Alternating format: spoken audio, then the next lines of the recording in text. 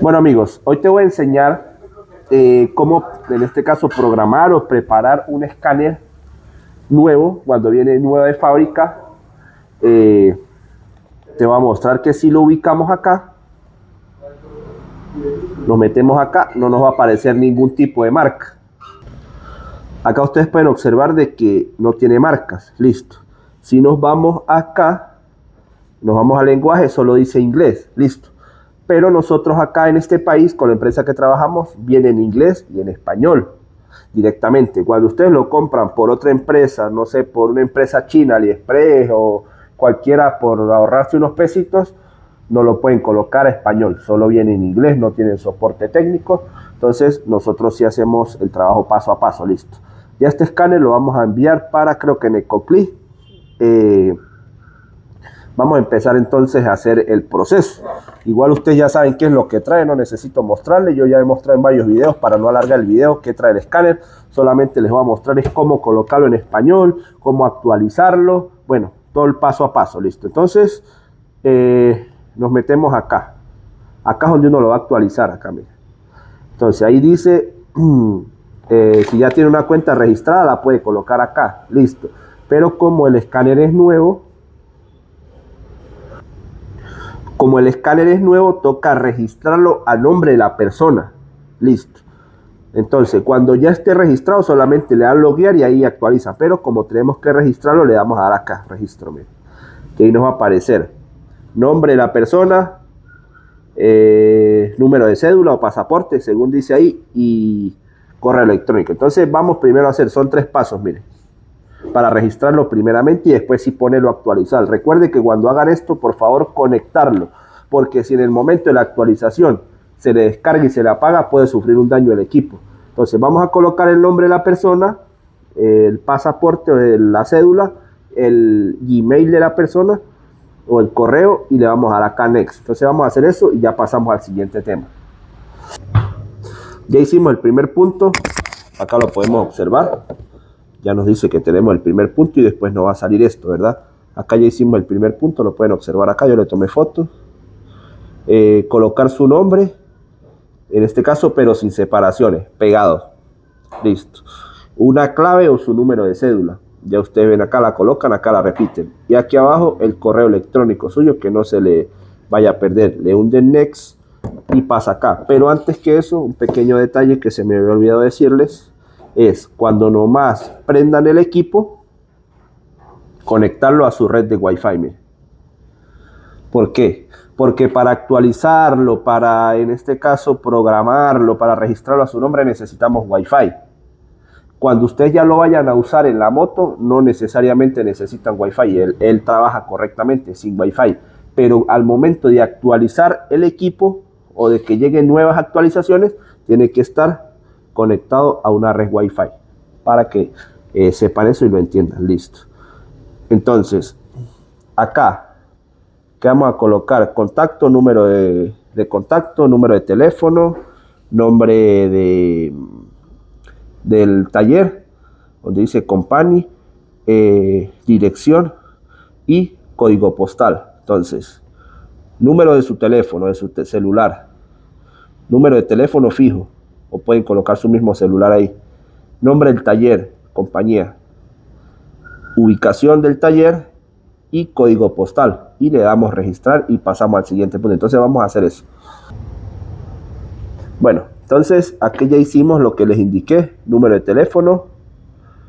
Le volví a repetir el número porque no tiene eh, teléfono de casa. Listo. Eh, el nombre del taller es para hacerle una publicidad, Motos Blanquicet. Eh, la persona que nos los compró es de Necoclí, Antioquia, y el código postal de Necoclí.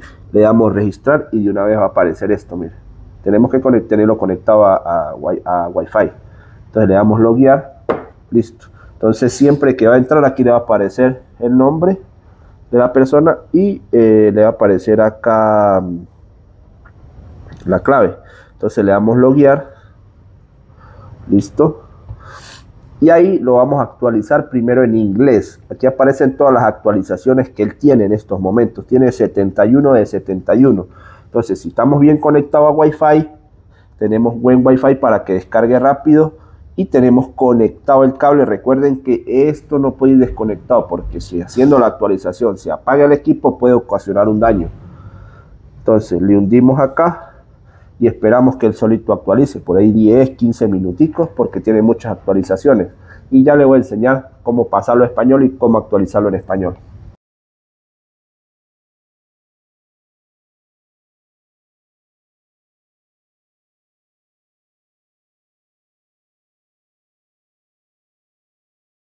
Acá como podemos observar, ya dice que tiene 71 actualizaciones de 71. Listo, ahí está completamente.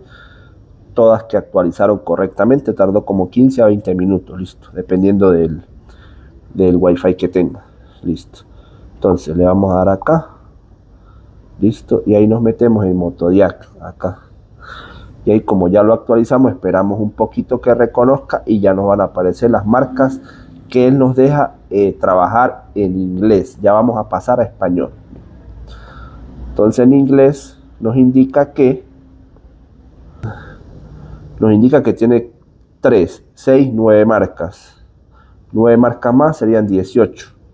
9 marcas más serían 27. 330 y 333 marcas en inglés. Acá ya lo vamos, podemos trabajar en inglés. Listo. Ahora, Fabián, yo quiero colocarlo en español, listo. Entonces, si nos vamos acá, lenguaje ya nos va a aparecer español, mire.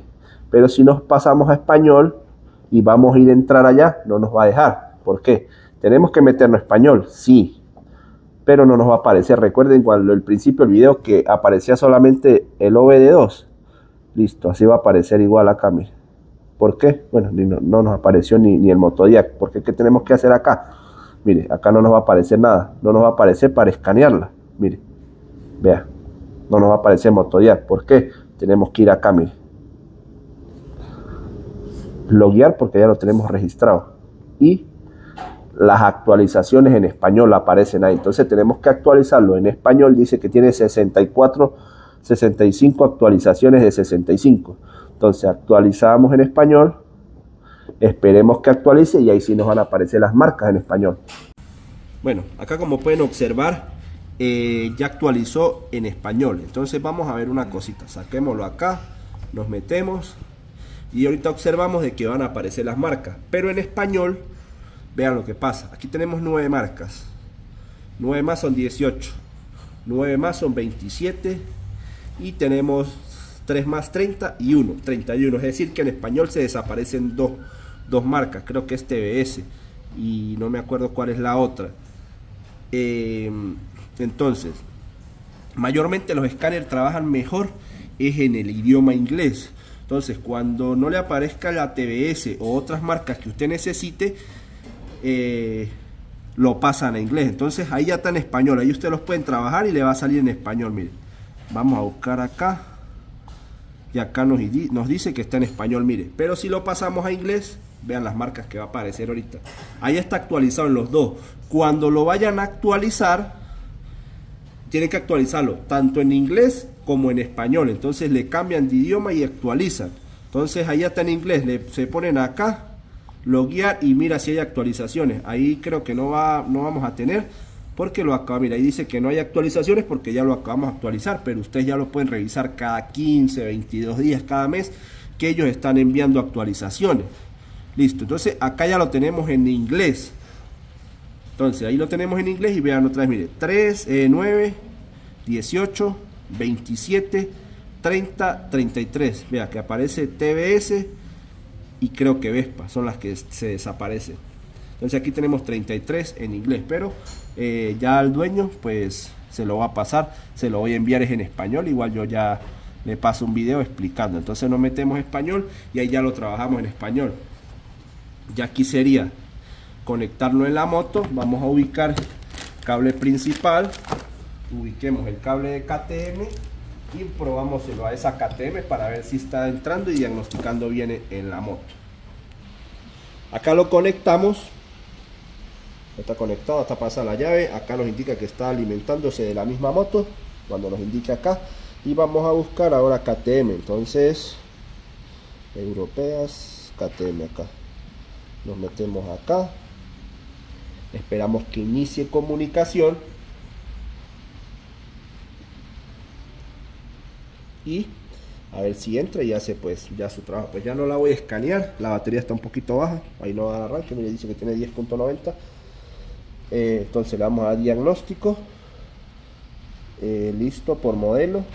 Entonces acá van a aparecer todos los modelos desde la mil y pico hacia adelante. Entonces como vamos a, colocar 200, entonces le damos Duque 200, le damos OK, nos dice que si motor o ABS, le damos motor, le damos aquí.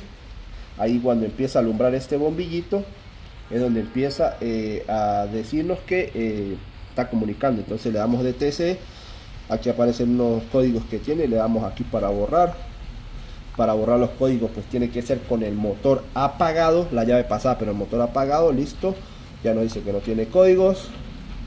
Eh, actuadores, acá podemos hacer una prueba, vamos a hacer una prueba de la bomba, le damos acá y activamos la bomba.